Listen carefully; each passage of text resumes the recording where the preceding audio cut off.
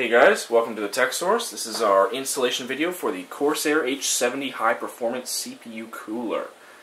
Um, we've done an unboxing video of this already. Uh, if you want it, the link for it will be right there.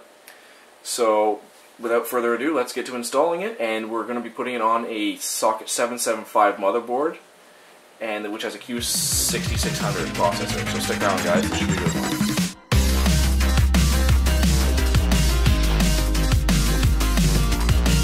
Alright guys, so Dave already said that we're installing this on a 775 motherboard and um, basically the 775, 1366 and 1156 uses all the same bracketing hardware, it's just a matter of uh, the different holes. So literally, I'm showing you this off, the installation guide for three different processors. Later we'll show you the AMD installation guide as well.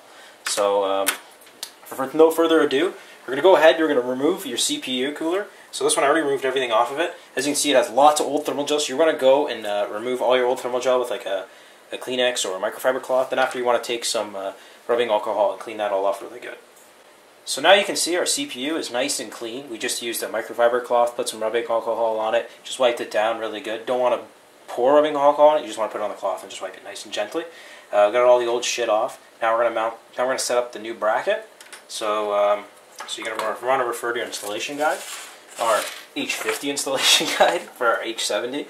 Um, basically, so step one, we're going to want to grab one of these crazy screws here, grab another one of these, just grab, I don't know if you can see this in the shot, uh, just grab this, put it through the hole, and then... Uh, Let me zoom in on your fingers. Okay, and then... Move down. There you go. And we just put these in. Down a little more. Just going to set these up. Just going to do all four of these, and when we come back, I'm going to uh, have all four of these, and we'll go for the next step. So now that you have all your screws and the mounting hardware all set up for your socket, um, next you're going to want to mount your backplate. So it gives you uh, two double-sided uh, tape spongy things. I'm not going to stick the double-sided tape to my motherboard because I'm switching motherboards within a month and a bit, so there's really no point. And personally, I usually don't like switching in doing that. So what we're going to do is I'm just going to peel off one side and stick it to the uh, to it. So I'm just going to do it like the instructions. It says put it in, put it on like that. Just real quick. So there. So it's just it's gonna it's gonna add some nice retention on. So if you wanted to stick this to your motherboard, you just peel off the other two, and then it comes double-sided tape. So it doesn't move, but you don't really have to do that. So next, what we're going to want to do is we're going to put these through, uh, these are the little silver things. I have the screws, so the screws can slow in. So you want to pick your socket. Is that in the shot, Dave? Yep. So there's 1366, 1156, and a 775. So I'm doing 775. So we're going to put it in. And you just want to do all four like that, and uh, get them in so they fit, and do all four, and then after that we're going to screw it down. Alright, so we took the back plate and we put it through the holes uh, on the motherboard. And now since I'm not using the tape, it's actually 10 times more difficult because I have to get the tape to hold it for me. So it stays in because the tape is kind of pushing it out because it's applying more pressure on the board. So next what you want to do is you want to grab your bracket, stick your bracket on the board, line them up with the holes. I'm probably covering half the shot. Uh, let me just get one of them on.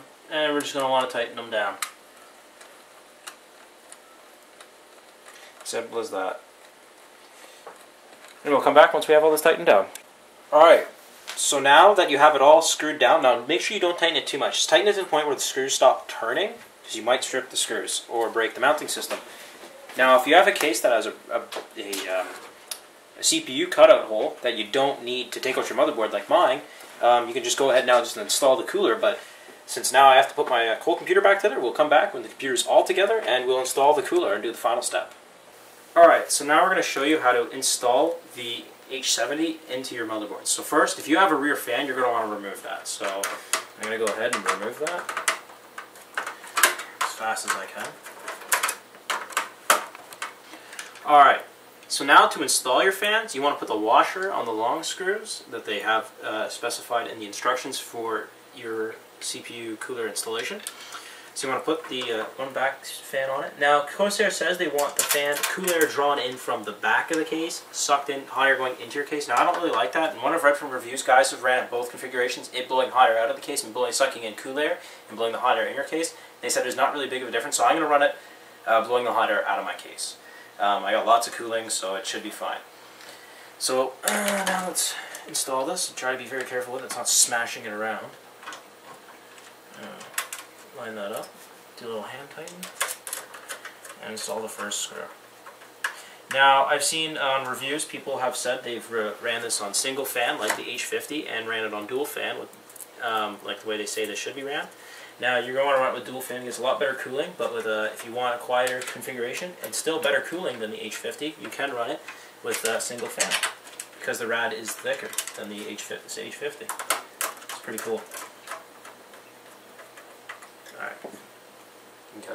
Alright, so I was going to install the second fan first, but I found out I didn't, you don't get a lot of clearance. So first you're going to want to install the CPU cooler itself. So take off the plastic cover, be very careful now because now your thermal gel is exposed.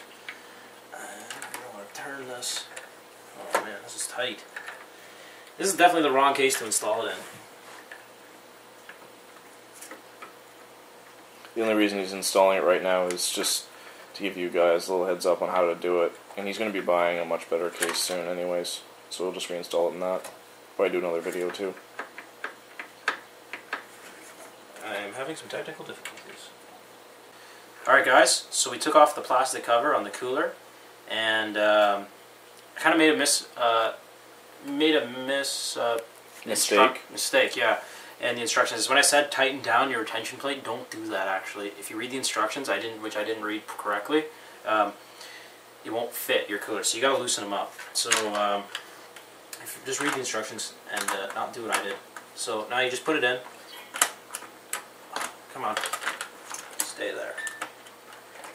Turn your cooler.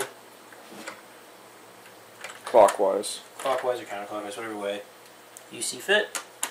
And tighten the batch down. Once it's secured, you just tighten the screws down. Um, don't over tighten them, Corsair says. Yeah, it's just a rule of thumb. Never over tighten anything. It's, not good for it. Risk stripping the screws or. Especially, especially on plastic, like a metal, you can tighten a bit more, but I wouldn't over tighten. Just tighten until it stops turning and it's good. That one's tight.